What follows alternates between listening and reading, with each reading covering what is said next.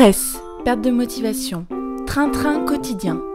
Toutes ces choses vous empêchent bien souvent de vivre pleinement de bons moments au cours de votre journée.